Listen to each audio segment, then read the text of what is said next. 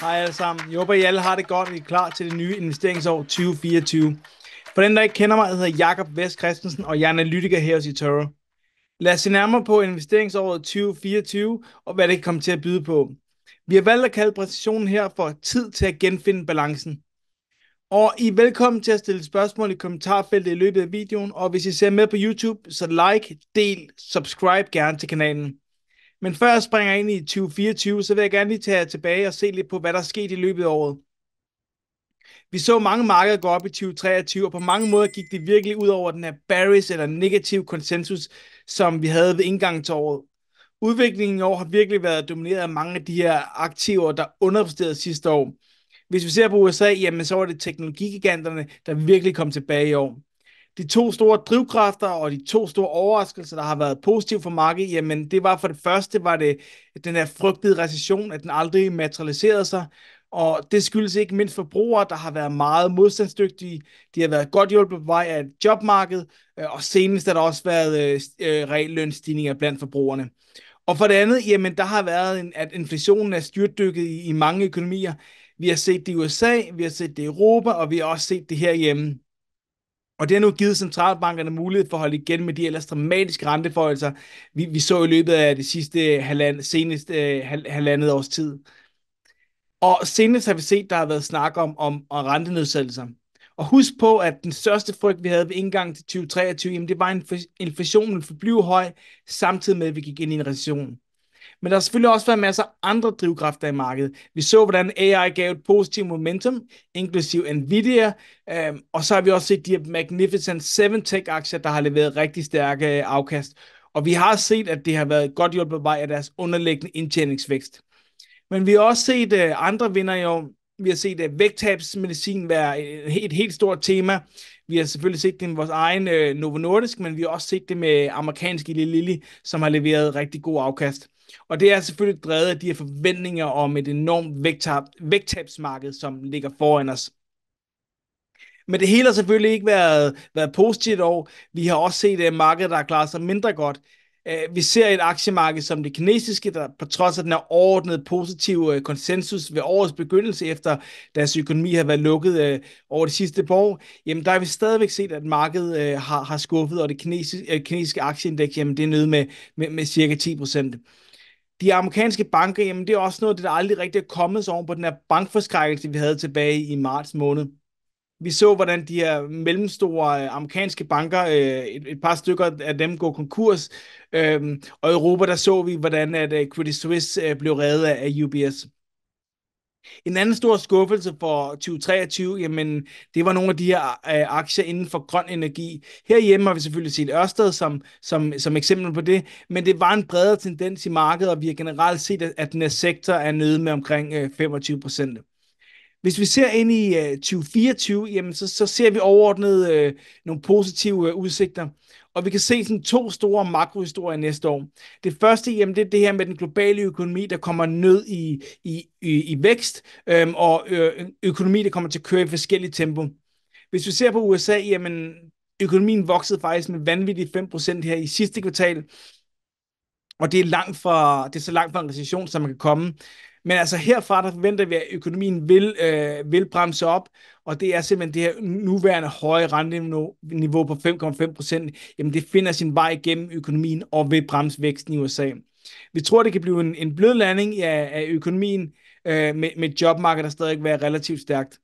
Men hvis vi tager fejl øh, med hensyn til den her bløde landing, så er den gode nyhed også, at den amerikanske centralbank nu har mulighed for at sænke øh, renten for at stimulere økonomien en mulighed, som de ikke havde for et år siden, da inflationen stadigvæk var øh, alt for høj. Imens der ser det økonomiske miljø anderledes ud i Europa, hvor mange økonomier allerede øh, flytter med en recession. I Danmark, øh, jamen der har vi sådan set allerede en teknisk recession efter to kvartaler med, i træk med, med negativ BNP-vækst.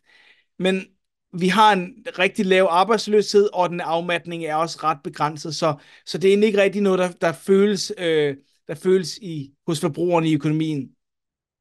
Hvis vi kigger til Kina, jamen, så ser vi en økonomi, der, der vækster med 4-5 procent, og vi ser en, en regering, der er klar til at, at, at støtte økonomien og holde gang i den her vækst. Men vi ser generelt svære, øh, svære økonomier i, i, i, i 2024, økonomier, der vil, der vil aftage. Øhm, men det vil også betyde, at, at den anden store makrohistorie, som er inflationen, at den vil fortsætte øh, med at falde og være på vej mod centralbankernes magiske inflationsmål på de her 2%. Og det vil gøre, så gøre centralbankerne mere komfortable med at begynde at kunne sænke renterne her i løbet, måske i første halvår af, af 2024, både i Europa og USA. Men der er selvfølgelig også en række risici. risici. Jamen for det første, så kommer vi ind i et, et globalt valgår. Vi starter her i Taiwan i, i, i, med Taiwan i januar, og så er der selvfølgelig det helt store øh, valg i, i USA i, i november.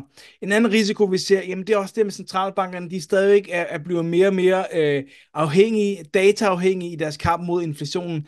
Og det betyder, at hver eneste datapunkt, de, de kigger på, jamen, at, at markedet også kigger på det her, og det, og det kan bare øh, flytte markederne hurtigt, og det kan give en større volatilitet.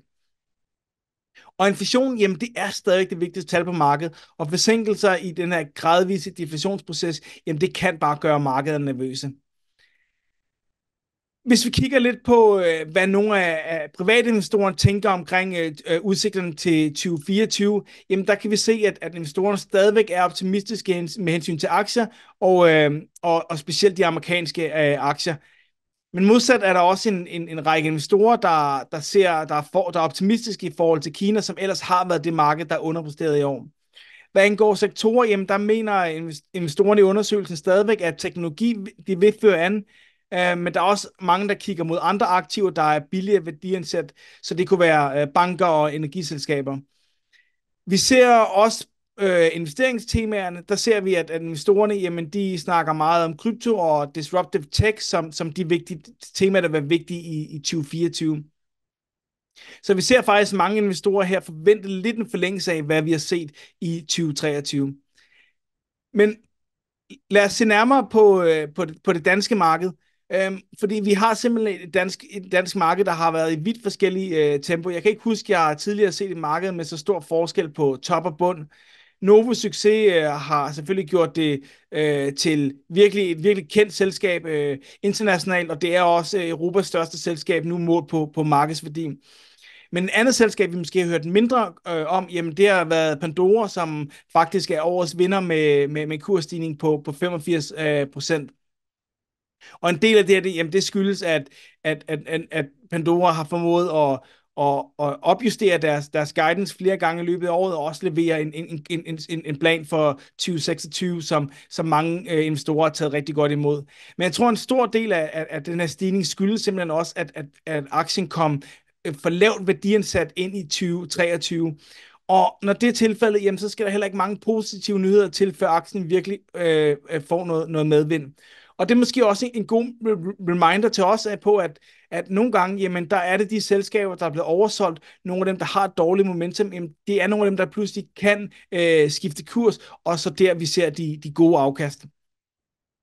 Hvis vi ser på, på det danske marked på sådan indeksniveau, jamen så det, øh, har det jo ikke klaret sig specielt godt i forhold til USA og de fleste andre europæiske lande. Og det er måske lidt nyt for, for os her i Danmark, fordi vi generelt har set, at det danske indeks har klaret sig, har klaret sig ganske fint. Men jeg vil bestemt heller ikke afskrive det danske marked. Det er et år, øh, hvor der har været øh, mange kedelige selskabsspecifikke nyheder, og det er et lille indeks med kun øh, 25 aktier. Øh, så nogle af de her kedelige øh, udmeldinger, der har været for selskaber, jamen det har bare ramt, øh, har ramt på, på indeksniveau. Øhm, og, og mange af de her, jamen det er indgangseffekter, som ikke nødvendigvis bliver trukket med ind i 2024. Og jeg tror, i takt med, at nogle af selskaberne får ryddet op og genvinder investorernes tillid, jamen der kan vi igen se, at de her selskaber kommer tilbage.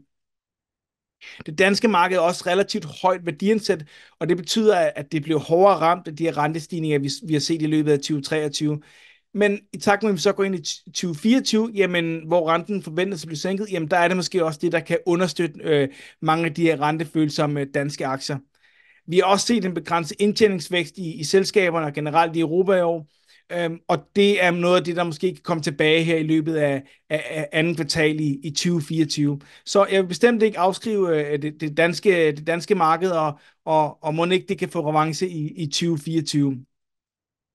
Hvis vi kigger på de øh, investeringsudsigterne øh, for, for det globale marked, jamen så, øh, så tror vi, at 2024 bliver et meget anderledes år end i år.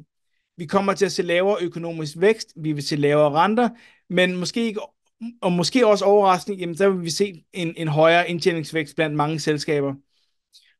Den, den større historie i 2024, jamen det bliver øh, rotationen fra de amerikanske og teknologiaktier, som har vundet i år, til, til nogle af de lavere værdiansatte øh, og rentefølsomme aktiver, øh, der findes på andre markeder. Ja, det kan være sådan noget som øh, aktiv, aktivklasser som ejendomsfonde, eller markeder som Europa eller emerging markets, som måske er nogle af dem, der kan få fordel af, af de lavere renter. Og timing er naturligvis den her svære del. Men i takt med, at vi nærmer os de her første rentenedsættelser, og vi også begynder at få et bedre overblik over risikoen for den økonomiske afmatning, som stadig ligger foran os, jamen der kan det begynde at være fordelagtigt at være positioneret i nogle af de her øh, mindre aktiver. Og netop fordi de her aktivklasser, jamen de er mindre, så øh, vil en lille smule reallokering fra, fra de store markeder, altså fra tech-markederne, fra det amerikanske marked, jamen de vil række ret langt i de her mindre øh, og lidt billige aktivklasser. Vi tror også, at lavere renter, jamen det vil, gøre, vil også gøre det øh, mere attraktiv, mindre attraktivt at placere øh, pengene i, i, i pengemarkedsfonde, som har været virkelig øh, populære i år, hvor folk har fået et stabilt afkast på 4-5 procent. Øhm, men i takt med, at renten kommer ud, jamen, så vil nogle af de her pengemarkedsfonde også blive mindre interessante, og det gør, at, at nogle af de her midler også vil blive rykket over, over mod aktier. Det kan også hjælpe af obligationer, som, som har haft det tredje, tredje år i, i trækken, hvor, hvor de faktisk er faldet, øhm, og det er første gang, vi har set det. Så øh, med lavere rente, jamen der forventer vi også, at obligationerne vil begynde at klare sig bedre i, i 2024. Samtidig forventer vi, at tech-aktien, som, har, som virkelig har domineret i 2023, jamen, de vil være mindre dominerende i, i de kommende år. Så alt i alt, der forventer vi 2024, der kommer til at se meget anderledes ud, end det år, vi er, vi er ved at afslutte. Det er alt, hvad jeg har for jer, øh, til jer for, for nu. Så jeg vil sige tak for i dag, og vi ses, øh, vi ses igen i investeringsåret 2024. Hej hej.